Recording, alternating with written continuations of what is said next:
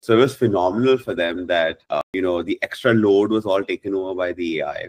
Uh, you know the teams became a lot more relaxed. They didn't need to.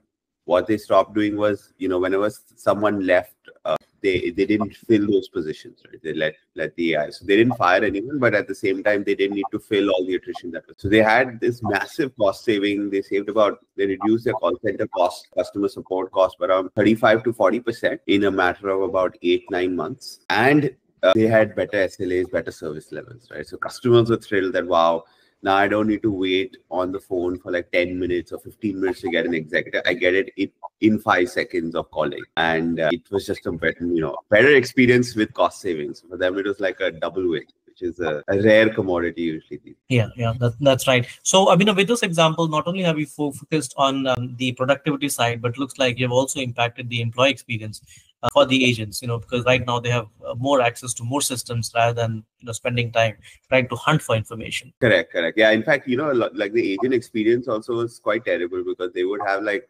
11 screens open at any point at once for the knowledge, eh, you know, SOPs and all, one for like core banking, one for the credit card system, one for something else.